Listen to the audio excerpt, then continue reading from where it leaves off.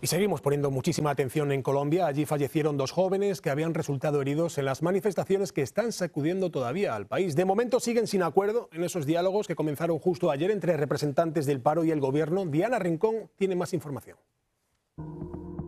El comité de paro aseguró que el gobierno no mostró empatía con su principal petición, el cese a la violencia durante las manifestaciones. Hemos exigido que se pare la violencia oficial y privada contra las personas que están haciendo el legítimo ejercicio del derecho a la protesta. Parece una zona de guerra. Violencia que en las últimas horas dejó la primera víctima mortal en la capital. Alejandro Zapata resultó herido por un artefacto arrojado supuestamente por la policía antidisturbios el primero de mayo. Y en la madrugada, Lucas Villa también perdió la vida luego de recibir ocho disparos mientras protestaba pacíficamente en Pereira el 5 de mayo.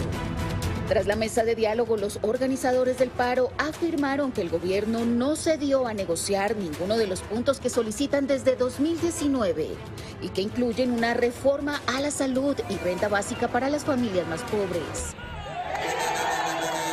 Por su parte, el gobierno anunció al terminar el encuentro que no permitirá que se cuestione la legitimidad de la fuerza pública, pero que los excesos serán investigados y sancionados.